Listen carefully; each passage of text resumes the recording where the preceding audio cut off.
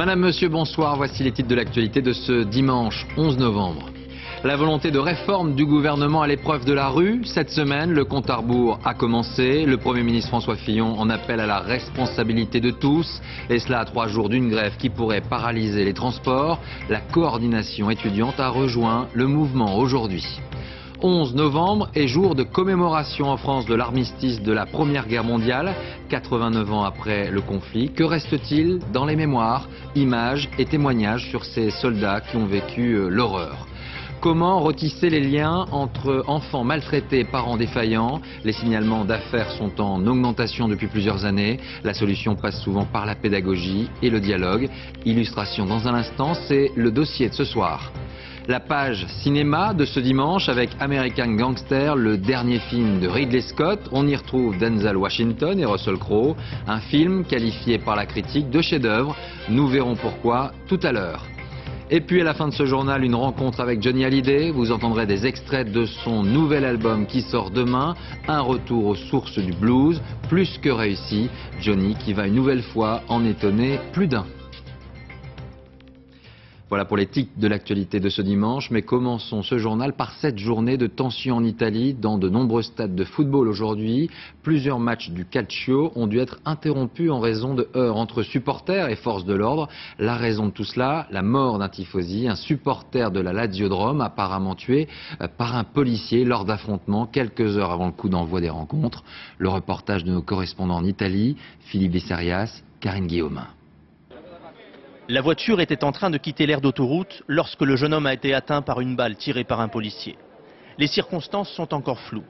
Ce matin, une patrouille de police intervient sur une aire de repos pour mettre fin à une rixe opposant deux petits groupes de supporters. Un policier aurait tiré deux coups de feu. Les autorités parlent d'une erreur tragique. Nous sommes profondément attristés par ce drame qui implique l'un de nos collègues qui d'habitude se comporte très bien. La victime, Gabriele Sandri, 26 ans, se rendait à Milan pour suivre son équipe, la Lazio de Rome. Il n'était pas connu comme un supporter violent. Ce soir, son frère accuse la police et parle d'homicide volontaire. À Rome, ses amis se sont rassemblés spontanément. C'était un type bien qui aimait la musique et le football.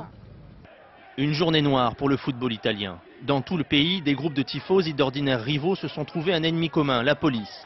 À Bergame, les supporters ont provoqué l'arrêt du match en essayant d'envahir le terrain. À Milan, la partie qui devait opposer la Lazio à l'Inter a été annulée, comme à Rome, où le match de ce soir est reporté. Depuis 1962, c'est la 13e fois qu'une personne meurt à cause de violences liées au football.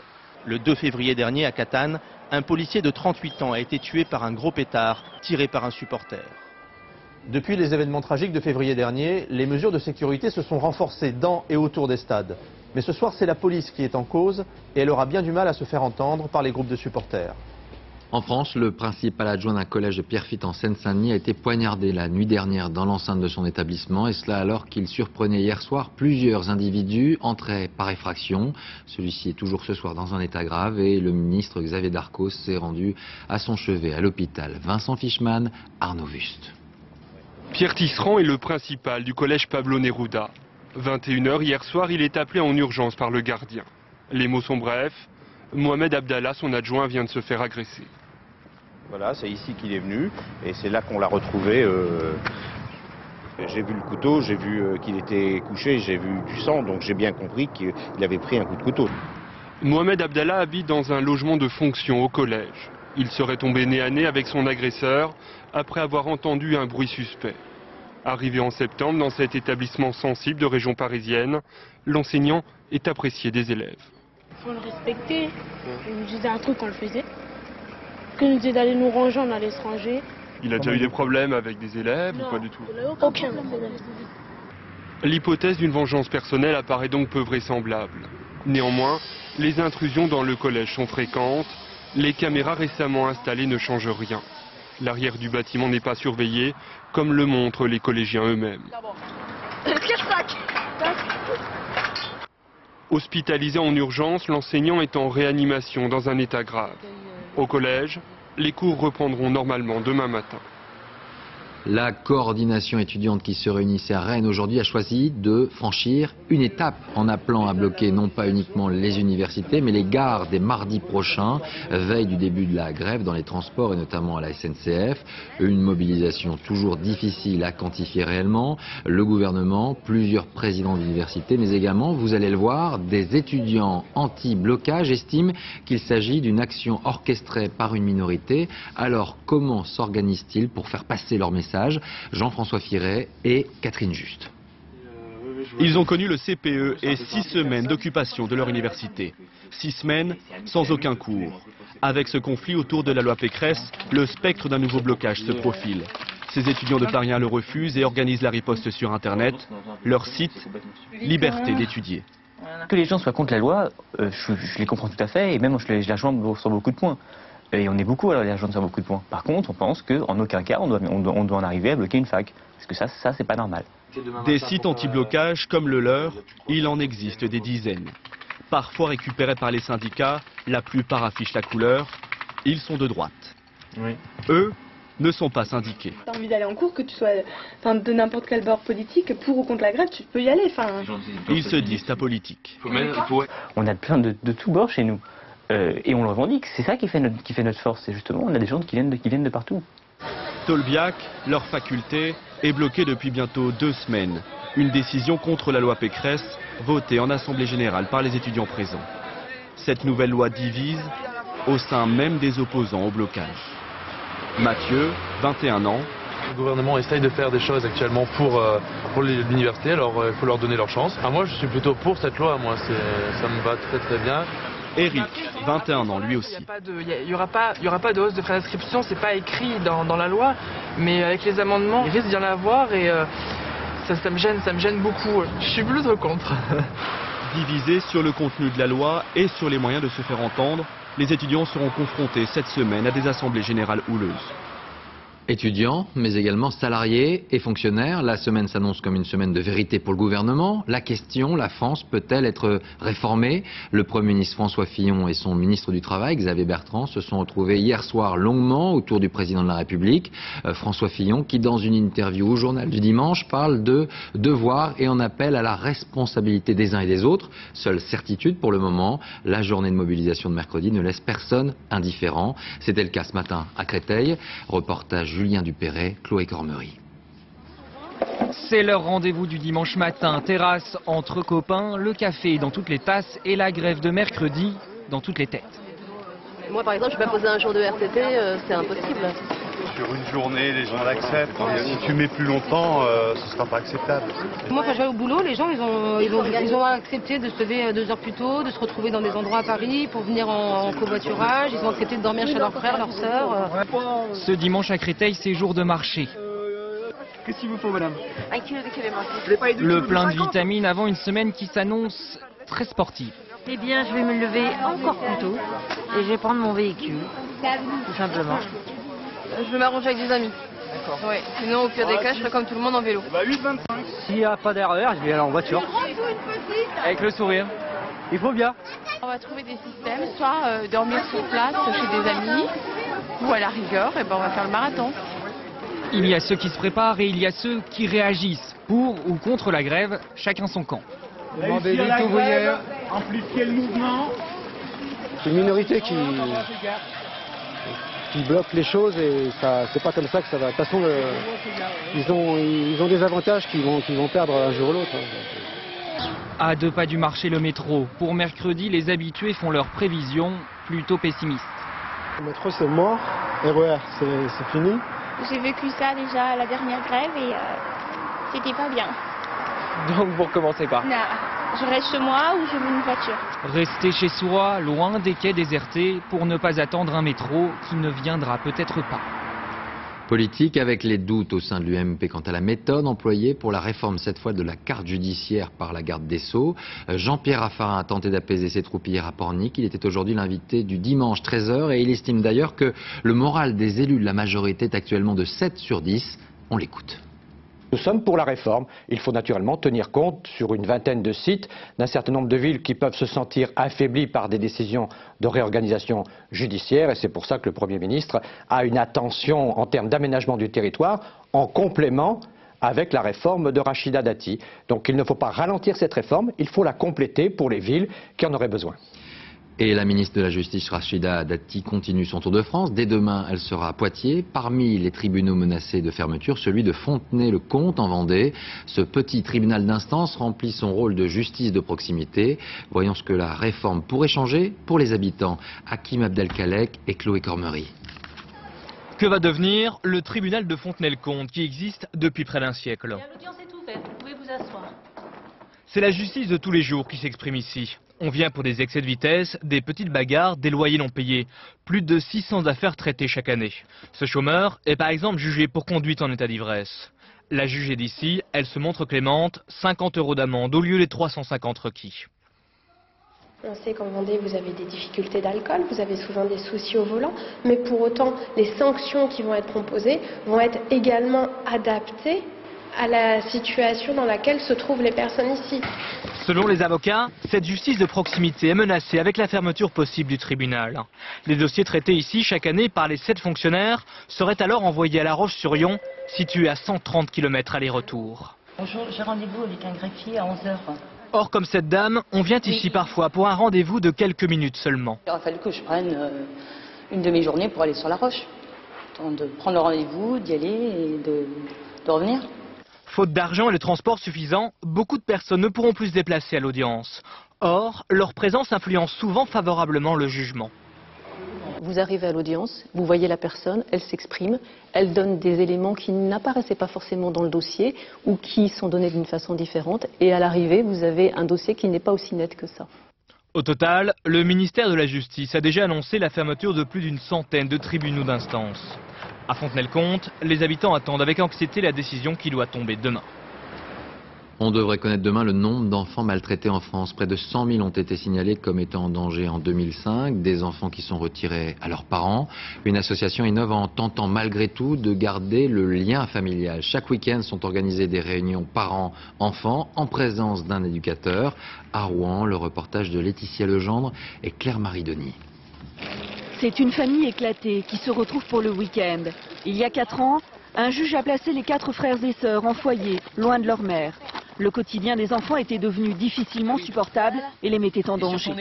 Depuis six mois, en présence d'Abdel, un éducateur spécialisé, il retrouve dans une maison qui n'est pas la leur les petits bonheurs simples d'une vie de famille. Dans le bord. On a plus de temps pour profiter de notre mère et euh, on s'amuse mieux. La chose que j'attends vraiment, c'est de revivre vraiment avec mes enfants. De refaire toutes ces choses que je faisais avant. Mais ça m'apporte beaucoup de bonheur aussi, d'être avec mes enfants.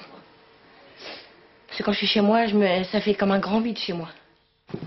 Toute la semaine, les enfants vivent, chacun de leur côté. Certains en famille d'accueil, d'autres en foyer.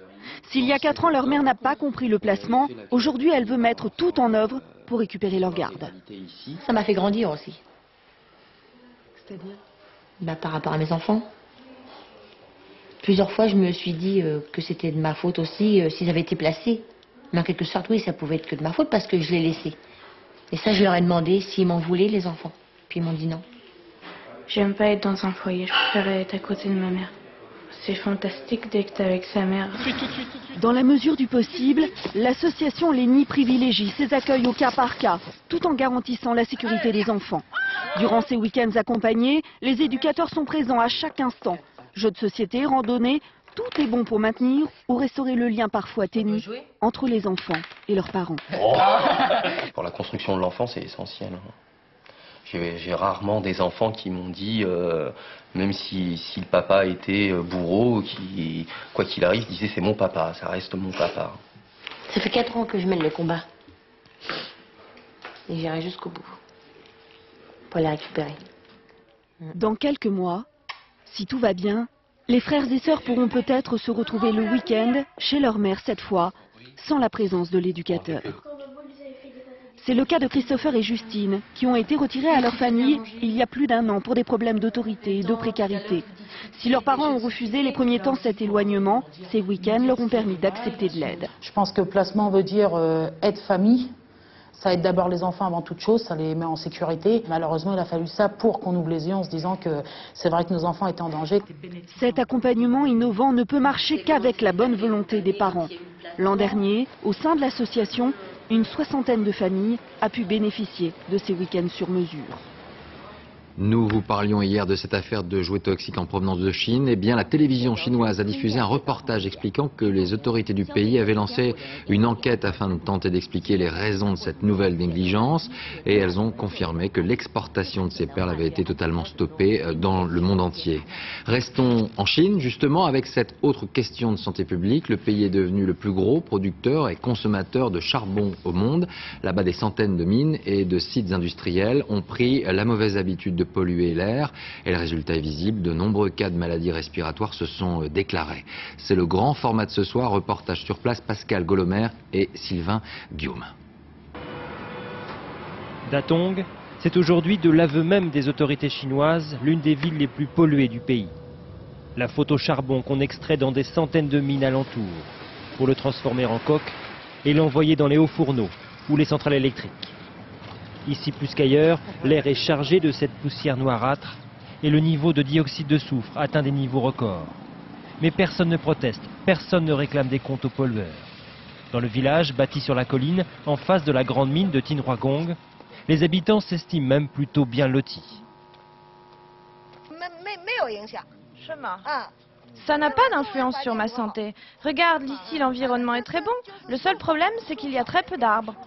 Mais sinon, ici, l'air est vraiment plus pur qu'en ville. À l'heure de la partie de cartes, les plus bavards, quand on les questionne, évoquent le mal qui ronge les poumons des mineurs et cette pollution contre laquelle on ne peut pas lutter. Je ne vais pas déménager, sinon je ne gagnerai plus rien. De quoi je vivrai? Je ne peux pas me nourrir du vent de l'Ouest. On vit de ce qu'il y a sur place. S'il y a une mine, on vit de la mine. On n'a pas le choix. C'est avec une caméra cachée que nous avons décidé de visiter l'un des hôpitaux de la ville, car l'impact de la pollution sur la santé des habitants reste un sujet encore tabou. Au deuxième étage, c'est le service des maladies respiratoires.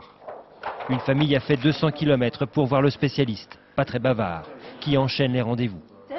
À chacun son diagnostic. Il y a beaucoup de camions de charbon autour de chez nous. Il y a de l'air pollué tout autour, alors ça vient irriter la trachée qui mène aux poumons et après on a des allergies. Une allergie peut-être. Mais combien de bronchites, de pneumonies, de cancers du poumon sont-ils directement liés à cette pollution? Silence des services officiels, qui viennent tout de même de révéler que le taux de malformation congénitale est bien plus élevé dans la région que partout ailleurs dans le pays. Les autorités promettent de fermer les centrales électriques les plus vétustes pour en construire de plus puissantes et moins polluantes. Mais en attendant, les habitants de Datong et de la région paient au prix fort le succès de l'industrie charbonnière. Environnement toujours avec cette fois une pollution en mer et direction la mer Noire où plusieurs navires se sont retrouvés prisonniers d'une terrible tempête. Quatre bateaux contenant du soufre ont déjà sombré et un pétrolier russe s'est brisé en deux laissant s'échapper au moins 1300 tonnes de mazout. Une vingtaine de membres d'équipage sont portés disparus là alors qu'aucune amélioration de la météo n'est prévue dans les prochains jours. Le Tchad maintenant avec cette information aujourd'hui, l'une des membres de l'association L'Arche de Zoé, la jeune infirmière Nadia Merimi, a eu un malaise dans la prison de N'Djamena où elle est incarcérée. Elle a été hospitalisée dans une base militaire française, apparemment pour une surdose médicamenteuse selon une source tchadienne. Un mot d'économie avec cette bonne nouvelle pour Airbus. La compagnie aérienne de Dubaï, Emirates, a commandé 70 exemplaires de l'A350 pour un montant total d'environ 20 milliards de dollars. Ce long courrier de l'avionneur européen sera livré en 2013. Les cérémonies du 11 novembre maintenant et les 36 000 communes de France étaient presque toutes aujourd'hui mobilisées une nouvelle fois en cette date de l'armistice de la Première Guerre mondiale. À Paris, le président de la République a placé cette journée de commémoration sous le signe de l'avenir et de la paix en Europe. Cérémonie en présence de collégiens.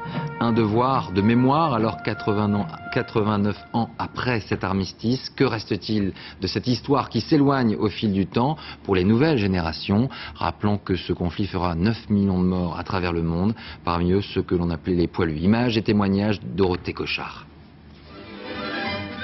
1914, les Allemands ne résisteront pas et la guerre sera courte. C'était la certitude de millions de jeunes hommes qui partaient au front, le cœur presque léger, et, selon l'expression de l'époque, la fleur au fusil. Je ne pensais jamais n'être ni blessé ni tué. Puis on ne pense pas à ça. C'est bizarre ça. Ça m'amusait. Voilà, exactement. C'est curieux la guerre, c'est pas tous les jours. Franchement, du reste. Puis n'oubliez pas que j'avais 17 ans. Hein? Comme je savais pas c'était, j'ai dit j'y vais. Et j'y étais. Arrivés au front, les soldats découvrent la violence inouïe des combats. En Lorraine, par exemple, l'armée française perd 22 000 hommes pour la seule journée du 22 août. Tout était épouvantable. On était sous les bombardements tout le temps, les tranchées qui s'éboulaient, ou les morts à côté de vous. Et puis cette guerre qui devait être éclair se transforme en guerre de tranchées. Quand c'était la belle saison, ça allait bien. Mais l'hiver, c'était pas pareil. C'était pas rigolo. Euh, Dans la boue, les rats. Il fallait secouer la barbaque pour faire tomber les bloches. Il a dedans. Et manger, on se passe en nez. La France est le plus meurtri des pays belligérants. Un million et demi de ses soldats perdent la vie. Plus de 8 millions sont blessés. Des centaines de milliers sont mutilés, dont ces hommes que l'on appelle alors les gueules cassées.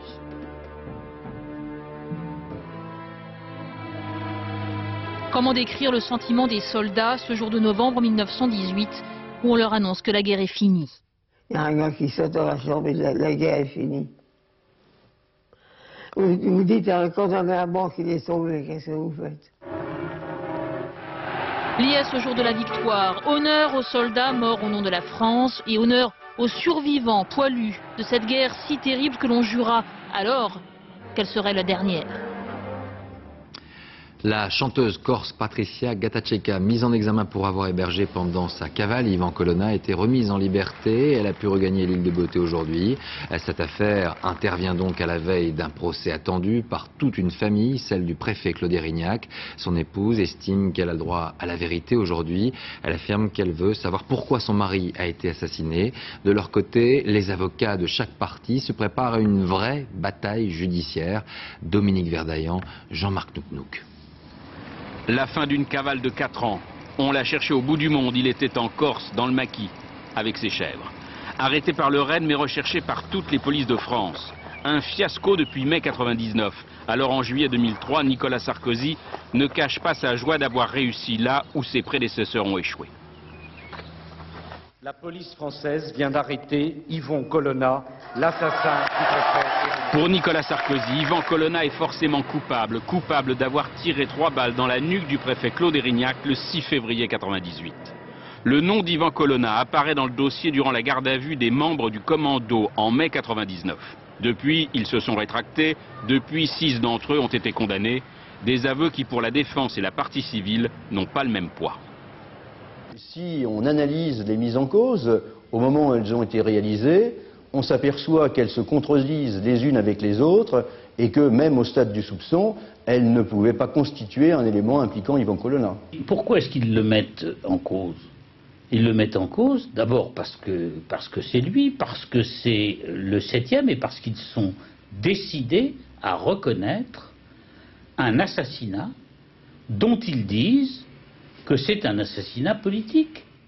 Il faut sauver le fuyard Yvan Colonna, alors son ex-compagne lui offre un alibi. Il n'a pas pu en, en, deux minutes endormir son fils, descendre à Ajaccio, tuer un préfet, remonter et moi le retrouver euh, entre minuit et minuit et demi, je ne sais pas, euh, endormi. En janvier 2001, toujours en fuite, Colonna écrit en langue corse un courrier posté de la région parisienne pour brouiller les pistes. Je n'ai pas tué le préfet Rignac. En 2004, après avoir été condamné définitivement, l'un des membres du commando, Pierre Alexandrie, s'accuse d'être le tueur, cherchant ainsi à disculper Yvan Colonna. Pour la défense, l'accusation s'effondre. Il n'y a pas euh, d'ADN, il n'y a pas de téléphonie, euh, il n'y a pas de traces papillaires. Euh, les témoins qui peuvent décrire la scène pour la plupart, voire tous, disculpent Yvan Colonna, ou en tous les cas ne le reconnaissent pas. Alors pourquoi avoir fui si on n'a rien à se reprocher réplique la partie civile.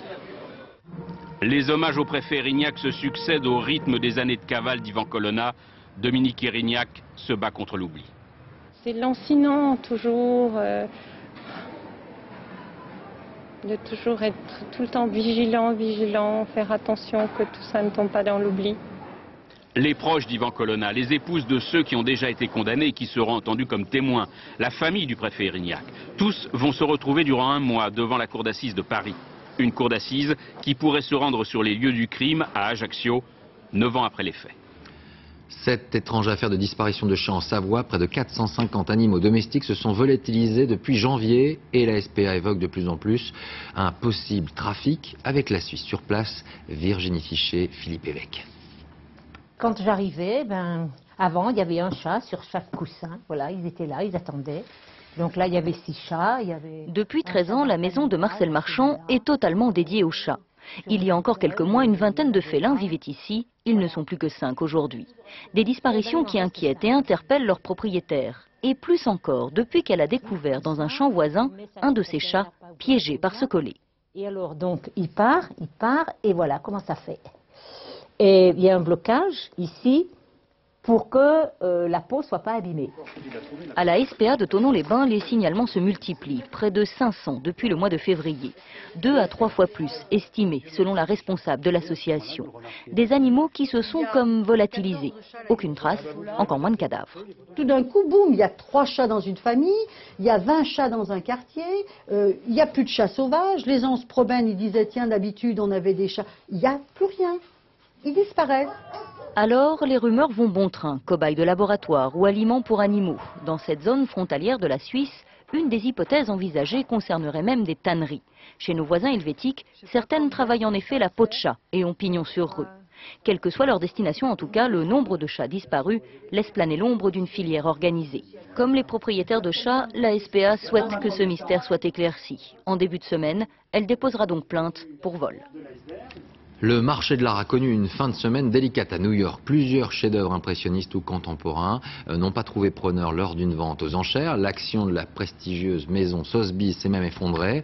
Alors pourquoi ces doutes des collectionneurs? Les prix du marché sont-ils désormais trop élevés? Explication Gilles Marinet, Claire-Marie Denis. C'était mercredi soir à New York, une vente chez Sotheby's qui s'annonçait très, très lucrative. For 35 million 35 millions de dollars pour ce Gauguin. Enchère suivante, les champs de blé de Vincent Van Gogh et la surprise, le minimum de 25 millions de dollars requis par Sotheby's n'est pas atteint. Le tableau est retiré de la vente, d'autres encore le seront. L'échec de la soirée, qui se chiffre en dizaines de millions, est attribué par certains critiques d'art au prix excessif des œuvres, multiplié par 4 ces dernières années.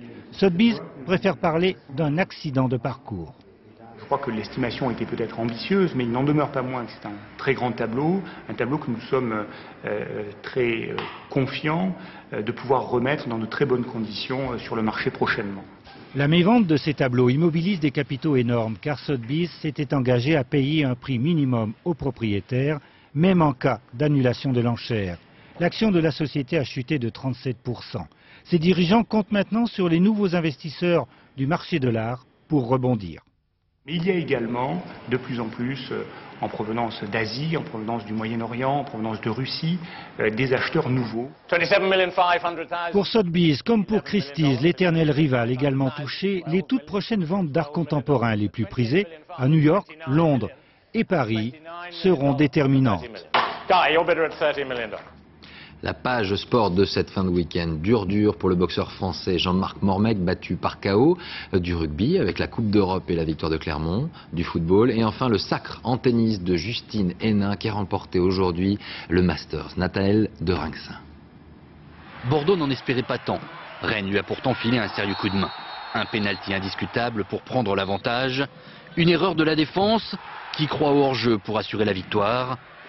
Bordeaux s'impose finalement 3 à 0 et vient chipper la troisième place du classement à Rennes, sa victime du jour. Clermont-Ferrand n'a pas raté son entrée en Coupe d'Europe. Sept essais marqués au gallois de Clanecly, dont celui-ci inscrit par Aurélien Rougerie. Victoire 48-21, 5 des six clubs français engagés dans cette compétition se sont imposés. Justine Hénin est bien la meilleure joueuse du monde. Cet après-midi, la Belge a remporté le Masters féminin en battant la Russe Sharapova en 3-7. Après Roland Garros et l'US Open, Hénin conclut en beauté la meilleure saison de sa carrière. Mené, malmené, David Hayes de Britannique a fini par se réveiller. Un uppercut, une droite. Mormec est à terre, l'arbitre arrête le combat. Hayes remporte le titre des lourds légers et dépossède le français de ses deux ceintures mondiales. Ça se bouscule au portillon de départ. Dans la baie de Barcelone, neuf monocoques se sont élancés pour un périple de 45 000 km sur les océans de la planète. Un tour du monde dont l'arrivée est encore prévue à Barcelone, mais dans quelques mois. Cinéma avec le dernier film de Ridley Scott, American Gangster, qui est qualifié, je vous le disais en titre, par la critique de chef-d'œuvre. Un film qui revient sur la véritable histoire du plus grand caïd de la drogue des années 70 à Harlem. C'est Denzel Washington qui l'incarne. À ses trousses, le policier Russell Crowe. À New York, Marie-Jo Jouan. Véritable ennemi public numéro un, c'est la toxicomanie. Dans le New York des années 70, c'est pourtant la drogue qui va faire la fortune de Frank Lucas. Le dealer va devenir l'homme le plus influent de la communauté de Harlem. Vous croyez que vous allez introduire 100 kilos d'héroïne aux États-Unis alors que vous ne travaillez pour personne et qu'on va vous laisser faire? Exactement. Son astuce, faire passer l'héroïne dans les cercueils à double fond des soldats rapatriés du Vietnam. Pour l'inspecteur Richie Robert, Frank Lucas est l'homme à abattre. C'était un brillant homme d'affaires, mais aussi un trafiquant de drogue. C'était son boulot. Et c'était un tueur, ça aussi. Ça faisait partie du travail. Un travail sans pitié. Il était aussi en affaire avec tous les banquiers de Wall Street. Le flic a fait tomber le parrain qui, à son tour, a permis l'arrestation de 150 gros bonnets de la drogue. Une rédemption. Ces deux vieux messieurs sur le plateau du tournage sont les vrais Frank Lucas et Richie Roberts, car c'est leur histoire qui est racontée ici. Curieusement, au fil des ans, ils sont devenus amis. Il a envoyé mon fils à l'école et a payé sa scolarité. C'est quelqu'un qui fait tout pour vous. Je l'aime, cet enfant de salaud, je l'aime. Il a fallu des années d'enquête et de filature avant qu'on s'aperçoive que c'était Lucas qui était à l'origine de cet énorme trafic de drogue et que la mafia dépendait entièrement de lui. On forme la nouvelle brigade des stupes du comté des sexes.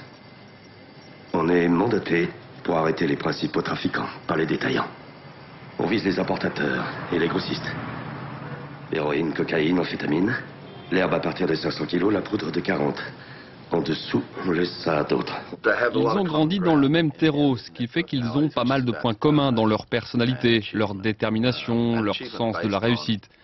Mais une réussite basée sur leur propre jugement, pas comme nous on l'entend forcément. Je vais vous mettre une balle dans la tête Richie Roberts est devenu l'avocat de Frank Lucas, qui n'a fait que 9 ans sur ses 30 ans de prison. Leur histoire devient ici un grand film de gangsters, épique et passionnant. Parlons musique à une question. Johnny Hallyday arrivera-t-il, arrive-t-il encore à nous surprendre avec un nouvel album? La réponse est oui. Le chanteur a réussi à convaincre sa maison de disques de chanter à nouveau du blues, encore du blues, rien que du blues. Résultat, sa voix est plus que jamais mise en avant pour le plus grand bonheur de ses fans. Olivier Lenuzza et Dominique Bonnet.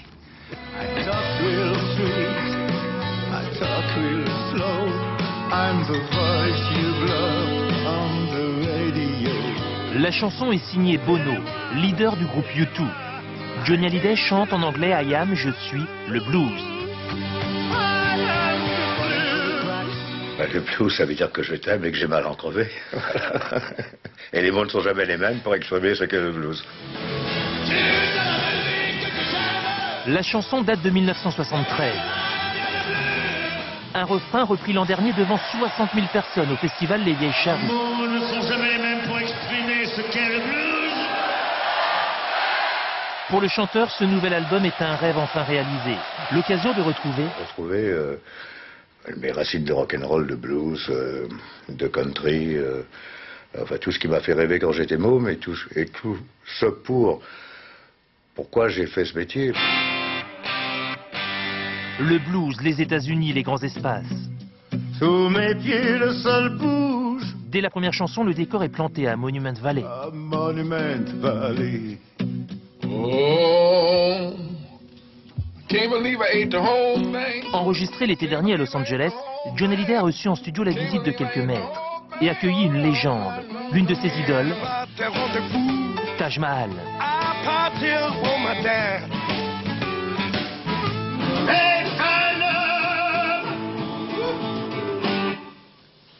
Parfait. Très bien. Allez, une dernière pour notre plaisir. et puis c'est-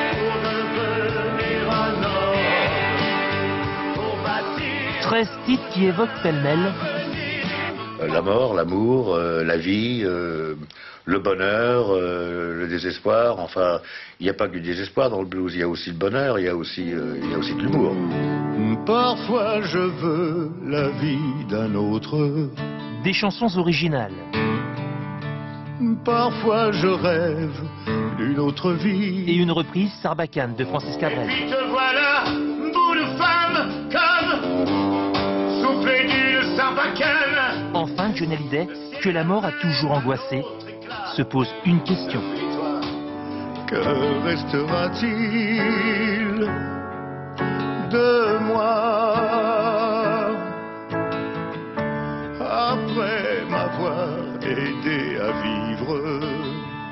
Restera-t-il selon vous? Oh, ben, J'espère qu'il ne restera que des bons souvenirs de moi euh, et que et voilà que, que j'aurais pu donner, euh, j'espère, un petit peu de un peu un peu d'espoir et un peu de bonheur aux gens.